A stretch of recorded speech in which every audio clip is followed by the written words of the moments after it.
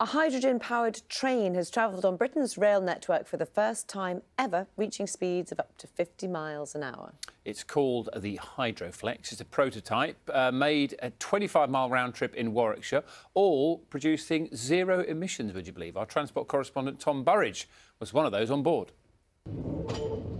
A 20 mile hydrogen powered round trip and a first for UK Rail. Here we are, UK main line between Evesham and Long Marston, running on completely clean green electricity, hydrogen fuel cell and battery. It's a massive moment.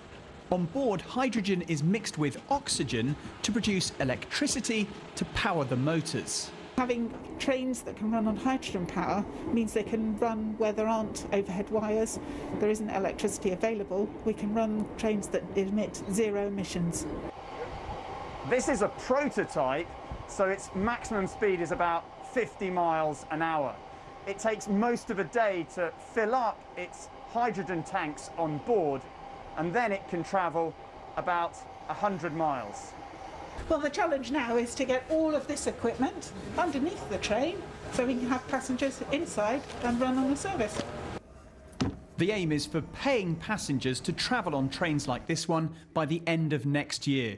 The project has the government's backing. The hope with this is to get it up to 200 miles at a normal uh, line speed, and, um, and and you know getting all the infrastructure in place will be important. And that's the broader challenge having enough hydrogen available to power trains in the future and ensuring that the hydrogen itself is sourced in a sustainable way. Tom Burridge, BBC News in Warwickshire.